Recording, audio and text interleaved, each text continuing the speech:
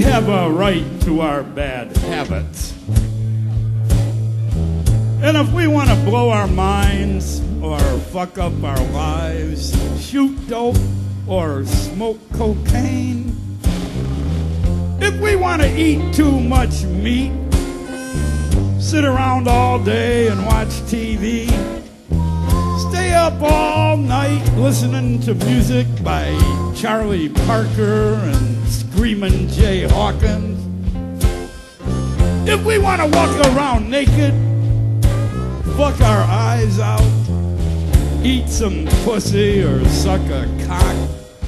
take it up the ass, get our nuts off 700 times a day, lay around and drink whiskey, bet on games, shoot dice,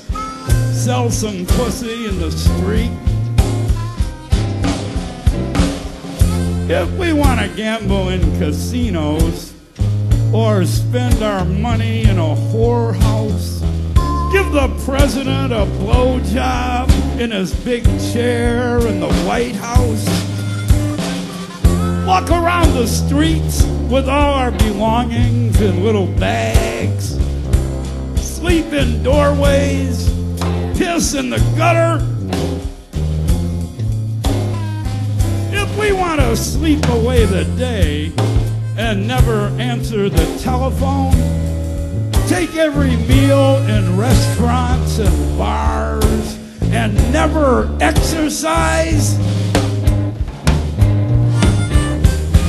And if it comes to the end of the line for us, we have every right to blow our motherfucking brains out or jump off the bridge or take ourselves away from here any way we might want to. Then, baby, please, we got a right to our bad habits, and it ain't nobody's business if we do.